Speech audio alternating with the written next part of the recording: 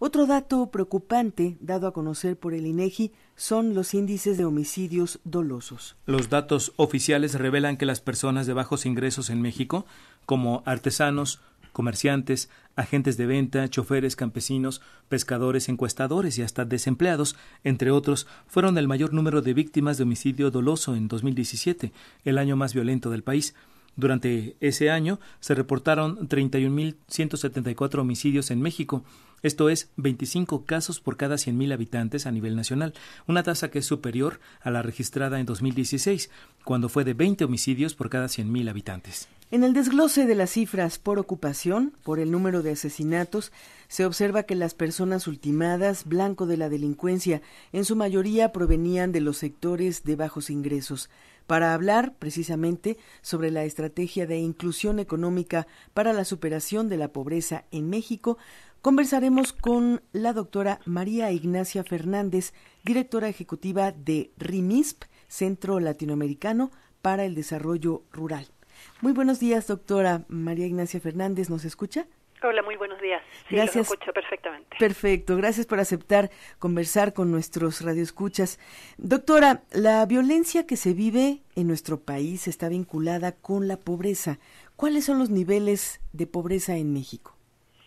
Mira, esa es una muy buena pregunta, el hacer la vinculación entre violencia y pobreza en términos de entender algo que para nosotros es fundamental, que es que la pobreza no es un fenómeno que tenga que ver exclusivamente con ingresos o algunas carencias materiales, sino que configura una situación compleja de, de abandono, de falta de oportunidades, de violencia, de inseguridad, eh, que requiere atención urgente. Si uno mira las cifras recientes de México, lamentablemente lo que observa es que prácticamente no se han movido en los últimos 20 años. ¿ah? Han habido variaciones en el tiempo, pero la cifra de hoy es prácticamente equivalente a la de hace 20 años atrás. Y estamos hablando al año 2016, según las cifras oficiales que nos reporta Coneval, del 58% de la población en situación de pobreza multidimensional en las zonas rurales del país. Ahora, en su particular visión, ¿los programas para combatir la pobreza han dado resultado o no? Programas para combatir la pobreza, particularmente Prospera y lo que anteriormente fue Progresa y Oportunidades, han dado muy buenos resultados en términos de mejorar las posibilidades de, mejorar el capital humano de las familias en situación o en contextos de pobreza, alfabetización, perdón, eh, acceso a la educación, por lo tanto alfabetización, acceso a la salud, sin duda. Pero lo que sigue siendo un pendiente fuerte, que es en lo que nosotros estamos proponiendo avanzar, es la posibilidad de generar ingresos autónomos para estos hogares y estas comunidades.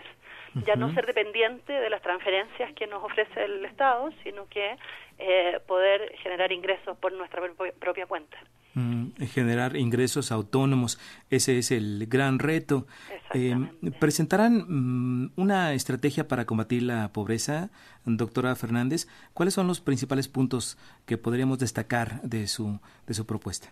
Lo que nosotros estamos trabajando es una propuesta de una estrategia para la inclusión productiva, en el entendido de que si apostamos a eh, generar ingresos autónomos, vamos a hacer un aporte sustantivo a la reducción de la pobreza. Eh, esta estrategia propuesta se basa en tres principios generales. El primero tiene que ver con el abordaje desde una perspectiva territorial, en el entendido que no son exclusivamente los hogares, los individuos en situaciones de pobreza, la forma o el lugar desde donde proponemos abordar el problema, sino que desde una dinámica más amplia, ¿no? desde el territorio. Como bien ustedes decían, comentaba Gabriela en su primera pregunta sobre los temas de violencia, bueno, no son cosas que puedan abordarse hogar por hogar, sino que requieren un abordaje territorial, comunitario, organizacional. El segundo principio tiene que ver con el reconocimiento de la diversidad y multidimensionalidad de situaciones de pobreza, ¿no?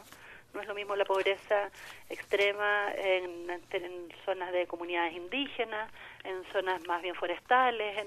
hay distintos tipos de territorios, tipos de problemas que sin lugar a dudas implican también o requieren de abordajes diferenciados.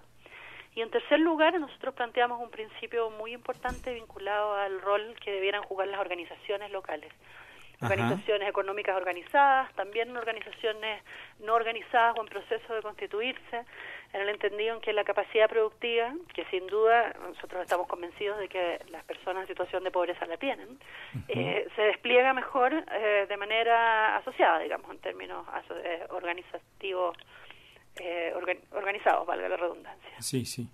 Eh, es decir, em, habla de la estructura comunitaria, de las organizaciones de la sociedad civil, de asociaciones, de fundaciones. Exactamente, exactamente. Estamos hablando de potenciar esta estructura comunitaria, potenciar también los órganos propios del territorio, el municipio, las organizaciones gremiales, ¿por qué no también las organizaciones, eh, el sector privado en los propios territorios, en el entendido en que el conjunto de actores presentes en cada territorio pueda establecer acuerdos amplios ¿ah? eh, y de largo plazo para abordar integralmente la situación de los hogares que se encuentran en mayores dificultades.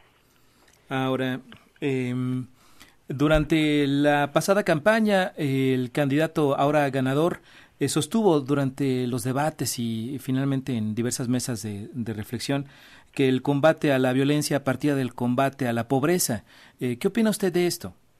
Totalmente de acuerdo, totalmente de acuerdo. Yo creo que hay causas detrás de la de la violencia y de los problemas asociados a la violencia que no son propios de de personas que innatamente tengan conductas violentas o ah, que haya algo vinculado en sí mismo eh, a la violencia, sino que es más bien una, una forma de salida negativa, por suerte, que ojalá no nunca ocurriera, eh, pero vinculada justamente a esto, a la falta de oportunidades, al sentir que no hay más proyecto ni alternativa que la violencia, el tráfico de drogas, las actividades ilícitas, eh, el mal uso de los recursos, en el entendido que es la única fuente o esperanza posible, lamentablemente, que ven una serie de hogares y comunidades en situación de pobreza muy extrema, ¿no? Pues le agradecemos muchísimo este panorama que usted nos presenta y todas las acciones que seguramente sería muy útil ponerlas ya en marcha. Eh, doctora María Ignacia Fernández, eh, por, gracias por su eh, conversación, directora ejecutiva de RIMISP, Centro Latinoamericano para el Desarrollo Rural. Un saludo. Bueno, muchísimas gracias a ustedes. Un saludo. Igualmente, doctora, hasta luego.